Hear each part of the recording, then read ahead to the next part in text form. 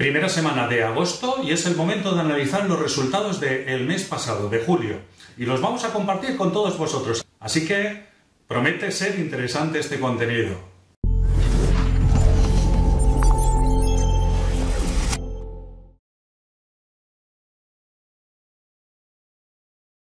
Y lo mejor es que vayamos a verlo. Nos pongamos en las pantallas. Bien, estamos delante de las pantallas y vamos a ponernos con el análisis de los resultados. Este más que un contenido morboso para mostrar números, etcétera, lo que pretendemos con este contenido es que podamos tener información de cómo analizar estos resultados. Es el objetivo principal. Y cómo extraemos esa información de los resultados para analizar la operativa que hemos llevado durante este mes. Independientemente a este registro que me da la propia plataforma, yo tengo un registro de operaciones diario donde al terminar la sesión operativa anoto cada una de las operaciones, hago su correspondiente captura y eh, voy anotando pues, los resultados día a día para hacer también un análisis semanal. Ahora estoy haciendo un análisis mensual de todos esos resultados para ver eh, cómo me ha ido el mes. Y así, si necesito, puedo acceder a ese archivo visual, gráfico de capturas y ver situaciones en concreto. Dentro de ese registro diario de operaciones, también contemplo apartados para trabajar la parte emocional, porque existen factores que no son vinculantes a la operativa, eh, en los cuales nos puede eh, influenciar en ese día operativo. Digamos un día, por ejemplo, que hayas tenido una mala noticia, que te haya ocurrido un suceso negativo en tu vida cotidiana y ese día veas que te haya afectado la operativa, eh, pues siendo más impaciente a la hora de entrar, eh, que te haya afectado ese suceso fuera de los gráficos a tu trabajo delante de los gráficos. Eh, somos seres humanos, todo el mundo podemos tener un mal día. Lo importante es poder reconocerlos, identificarlos y ese día pues decidir no operar bajo esa circunstancia. Y el registro de operaciones y el filtro de parada eh, que podemos aplicar dentro de nuestro plan de trading son unos buenos compañeros de viaje para que si no somos capaces de ver algo, eh, por el motivo que sea, estamos en caliente y, no podemos tener esa información, que nos salte una alerta, que tengamos una alarma que nos pueda decir, oye, por aquí no, no es correcto lo que estás haciendo y así analizarlo en frío y decir, vaya, pues aquí es donde ha estado mi error. En principio, si hago un balance del mes de julio, mirando eh, lo que ha sucedido, mi instrumento, los que me conocéis más de cerca, si no os lo comento, es el ES, trabajo solamente el ES, el Mini SP500, y eh, desde que aparecieron los micros he ido incorporando también esta opción de poder operar con micros. Esto hace que abran más contratos, a través de los micros, pero tengo una mayor flexibilidad en periodos como el que estamos teniendo ahora en julio, eh, en los cuales estamos en esa zona de máximos históricos, incrementa la volatilidad, los riesgos habituales que suelo tener en mi operativa de 6 o 8 ticks, más o menos, eh, no los puedo estar manteniendo porque me salta el stop y luego me da la razón, entonces utilizo una combinación eh, con el micro y con el mini. De ese modo, algunas operaciones las he podido abrir con el mini y otras operaciones las he hecho con el micro, viendo que esos días tenía más zigzagueo dentro del gráfico, tenía más volatilidad. Eh, periodos de incertidumbre generan movimientos que vemos con mucha mayor volatilidad. Y para poder estar ajustando distancias de riesgo, lo que hacía era hacer una operativa combinada viendo el micro y el mini como un todo. No como instrumentos separados utilizando operativas separadas, sino que estos días que estaba viendo más volatilidad, decidí eh, operar a través del micro y de ese modo eh, gracias al menor apalancamiento he podido estar trabajando, desarrollando mejor zonas de stops un poco más amplias, distancias, etcétera, etcétera. Así que vamos a ir a cada uno de los puntos, eh, luego lo haremos en grande para que podáis ver cada detalle y aquí eh, empezamos a centrarnos con línea a línea cada uno de los conceptos que podemos ver dentro de ese resultado y así analizarlo. El primero que tenemos es de total trades. Aquí vemos que aparece 500 trades. Es una cantidad muy elevada porque, como se estaba comentando, al utilizar el micro he estado lanzando muchos más contratos. Cada trade, aquí la plataforma, cada contrato que operas la entiende como un trade. Entonces, si con un micro he entrado con 5 contratos en vez de hacerlo con un mini, ese trade me lo ha contado como 5 trades, no como uno. Lo normal y, es más habitual es que haga un trade a 3 por día, como mucho 3, eh, estando en torno en el total normalmente va a ser 50, entre 50, 100 a lo sumo, contando desde que todos los días hagas tres operaciones, tres trades con dos contratos. Eh, estos números están muy por encima de lo que es una operativa habitual. Por este suceso, por haber estado operando con el micro. El micro es 10 veces menos apalancado que el mini, entonces compensábamos eh, manteniendo una mayor distancia con menos contratos de lo que supone apalancarse con el mini, pero utilizando más contratos con el micro. Eh, además, el micro me está gustando mucho, eh, os compartiré, si os parece bien, dejar un comentario al respecto debajo de este vídeo y, os puedo compartir esta operativa que estoy manteniendo en la cual hago una combinación entre el mini y el micro, tratando de trabajar ambos como un todo y centrándome el análisis solamente en el ES. Si os parece interesante esta información, dejadlo en los comentarios y hacemos un próximo vídeo hablando de cómo opero el micro y, estoy leyendo al mismo tiempo el ES. Os advierto de entrada que es un contenido bastante más avanzado eh, de lo que es habitual en el canal. Eh, luego, por otro lado, tenemos el total PNL. Aquí estamos hablando de la ganancia bruta. Eh, este ha sido el beneficio bruto que hemos obtenido y ahí habría que descontarle eh, lo que son las comisiones que pagamos por cada una de las operaciones. En el ES las comisiones están en 3,60 y pico. Bueno, siempre se acerca más a 4 dólares que a 3 y pico. o suelen ser 3 largos en ese sentido. Eh, las comisiones con el micro estamos hablando de una media de 0,70 aproximadamente, 0,80 a lo sumo. Y eh, si seguimos a través de cada uno de los datos, luego tenemos la media de beneficio bruto. Eh, este es un dato muy importante que analizo, el que vemos a continuación, que es el máximo Dow.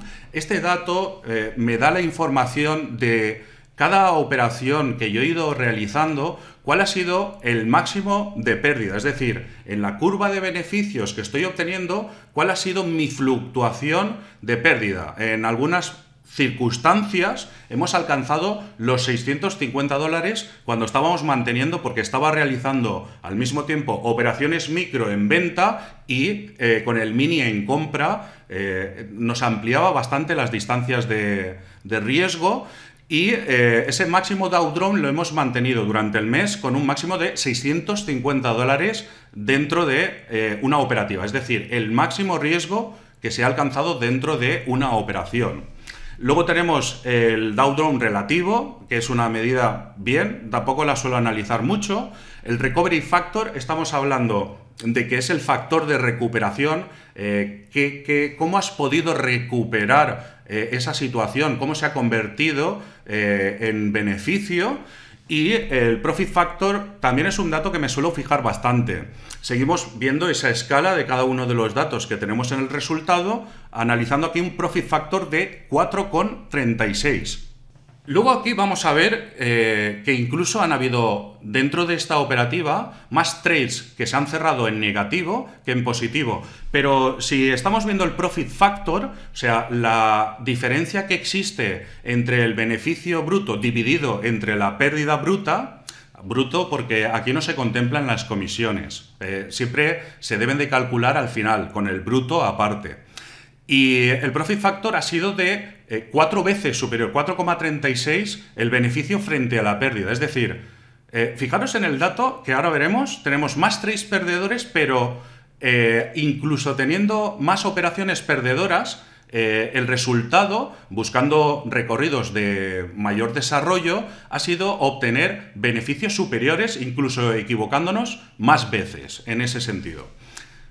Si seguimos viendo, vemos que los tres ganadores están en 170. Hemos tenido 170 tres ganadores, los cuales en bruto nos han dejado 7.662,25. Eh, muy buena la media de beneficio y fijaros que losing trades está en 301. Es decir, eh, lo normal dentro de la operativa era eh, tener un 60% de aciertos, teníamos más ratio de aciertos haciendo con el mini, pero eh, teníamos un beneficio peor, un beneficio inferior, porque dentro de ese scalping o intradiario eh, no podíamos aprovechar muy bien estos eh, esta opción que nos da el micro de poder incluso dejar las operaciones abiertas de un día para el día siguiente, cosa que con el mini es imposible prácticamente por la cantidad de garantías que se exigen, etcétera, y si sufres un gap en el mini, pues bueno, eh, te puede barrer gran parte de la cuenta, cosa que en el micro no sucede. Puedes dejar esas operaciones correr tranquilamente y seguir montado en el movimiento mientras te permita estar avanzando en el mismo. Fijaros que este dato es bastante importante porque no, eh, no es una operativa óptima el ver que estamos teniendo un 60% de mm, no aciertos, ¿no? De fallos. Pero a través del Profit Factor podemos ver que eh, pese a haber tenido más operaciones perdedoras que ganadoras, esos beneficios eh, nos han aumentado. Yo, os comento un dato de por qué han habido más losing trades. Eh, la plataforma solamente contempla el hecho de ganar o perder. No hay un break-even como hacemos nosotros. Entonces, una operativa ha sido de sacar el parcial, asegurar la operación y dejar correr los otros contratos, dejando lo que se conoce como runner, ¿no? el sistema que se está empleando, que os explicaré con más detalle, trata de hacer un parcial, sacar la mayor parte de ese, eh, esa entrada de contratos. Si he entrado con 5, saco 3, dejo 2 y los otros dos los dejo en break-even de cara a poder montarme en un movimiento de mayor desarrollo. Y eh, eh, cuando este el precio ha venido a nuestras órdenes y nos ha sacado del mercado, en break-even o en menos uno o menos dos, claro, lo ha dado como losing trade, no lo ha dado como un trade ganador, aunque la diferencia de ese trade perdedor sea una salida en cero, una salida en menos uno o menos dos, pero una salida muy próxima al precio. Así vemos que, por ejemplo, el losing PNL es 1757, se ha perdido en operaciones 1.757 dólares frente a los 7.662 con 25 que se ha ganado. Ok, voy a coger una captura, voy a hacerlo en grande, así vemos los números para quien le interese ver números en concreto. Muy bien, hemos analizado todos los datos que nos arroja la plataforma y ahora, eh, como apunte personal para la operativa este mes, analizando esos días en los que he tenido pérdida, en esos días eh, que vemos ahí como el Loose Day 7, eh, viendo un poco más al detalle de cada una de las operaciones eh, realizadas esos días, he podido darme cuenta, es algo habitual, de el hecho de haberme forzado a operar en ciertos días donde sabía de antemano que no debía de operar ese día. Es decir, he tenido una circunstancia, un evento personal, y incluso a sabiendas de ese evento, eh, lo que ha sucedido es que me he forzado a operar para cumplir objetivos y ese día lo he pagado con pérdidas. A sabiendas de que no debía de haber operado ese día, me he forzado. He tenido la obligación de estar eh, operando para cumplir esos objetivos, para seguir y mantener ese ritmo operativo. Y esto lo he, pagado en esos días, esos días que eh, han terminado con pérdidas y gracias a los filtros de parada, esos días, esas pérdidas no se han convertido en una gran espiral negativa. Eh, estos días en los que sabes que no deberías de ponerte delante de los gráficos porque no estás al 100%, eh, esos días en los que no debes de ni arrancar el ordenador, eh, sabes de antemano que no estás en tu momento óptimo para operar y te fuerzas a ello. Eh, principalmente ha sido este el motivo de los días perdedores. Evidentemente hay operaciones perdedoras como ganadoras. no, no es el trading algo en lo que alguien pueda decir que gana siempre. Es imposible. Hay operaciones perdedoras y forman parte eh, de nuestra rutina. Es lo más habitual. Es nuestro coste que debemos de asumir como operadores. Y dentro de todo este balance que puedo hacer mensual, es seguir trabajando ese aspecto, decir, oye, eh, no estás preparado para operar este día, tienes esta influencia emocional que te está diciendo no lo hagas, pues evítalo, evítalo ese día eh, y no seas un cabezón de que tienes que, eh, tienes que operar, tienes que seguir con tu rutina, tienes que cumplir los objetivos y que estás por encima de todo eso emocional. Somos seres humanos, al fin y al cabo, y esa parte emocional es la que nos puede afectar directamente a la operativa. Y cerramos para dar por zanjado este contenido eh, volviéndote a invitar, si quieres, deja en los comentarios y os explico qué tipo de operativa he estado haciendo con el ES y con el MES, o sea, con el mini y con el micro. Eh, de ese modo, eh, puedo aportaros algún dato adicional independientemente a este que estamos viendo de resultados. Es muy importante, es muy importante que podamos medir los resultados.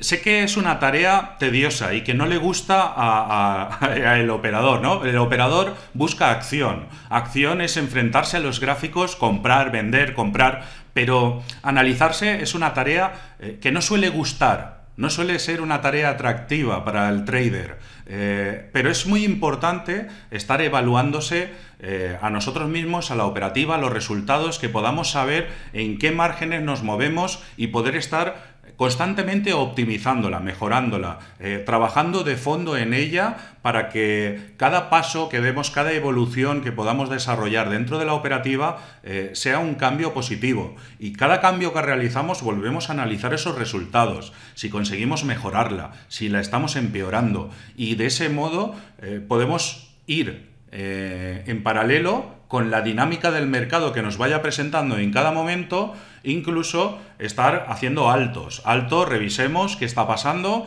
esto no está funcionando como yo lo trabajo, no está yendo de este modo, con lo que debo de analizar otra vez de nuevo la dinámica, los gráficos, la operativa, etcétera, etcétera. Y así, de ese modo, ir construyendo un plan de trading dinámico en el cual eh, podamos tener contemplado el hecho de estar, por ejemplo, incluyendo mejoras, que, como dice la palabra mejora, tratamos de buscar siempre el rendimiento más óptimo a nuestra operativa. Por último, eh, me gustaría invitarte a que conozcas nuestra formación. Como sabes, en Armaga FX tenemos un curso especializado en lo que es la lectura del volumen y el order flow, el cual llevamos bastantes años mejorando y con el cual Eric y yo basamos nuestra operativa diaria. En esta formación intentamos dar un seguimiento al alumno muy personalizado, ya que nuestro fin es que todo el mundo que haga la formación pueda empaparse del contenido e interiorizar nuestro método. Para ello hacemos sesiones en vivo todas las semanas para aclarar dudas, eh, sobre la teoría. Eh, tenemos ejercicios que os corregimos individualmente y también os incluimos a todos en una comunidad para que así eh, podáis estar en contacto directo entre vosotros y conmigo, con Eric. En esta comunidad podemos comentar análisis del mercado, diferentes operaciones que se den durante la sesión y os sirvan de apoyo. Sinceramente es algo a lo que ponemos mucho esfuerzo y nuestro motor es que los alumnos que participan eh, salgan satisfechos y puedan incorporar el contenido eh, y mejorar su operativa. Es nuestro principal objetivo. Nada más. Si quieres que te aconsejemos sobre cómo seguir tu formación, te dejo un enlace al Messenger de Facebook eh, para que nos puedas hablar directamente, escribirnos, preguntarnos cualquier duda que puedas tener al respecto. Espero que podamos hablar pronto y seguro, segurísimo que nos vemos en un próximo contenido. Un saludo de Claudio Alcaraz. Por cierto, están apareciendo otros vídeos, seguramente te van a resultar de interés. Así que sigue nuestro canal, sigue viendo nuestros vídeos y mira, aquí en el centro puedes suscribirte. Dale a suscribirte y así estarás al día de los contenidos de Armaga FX.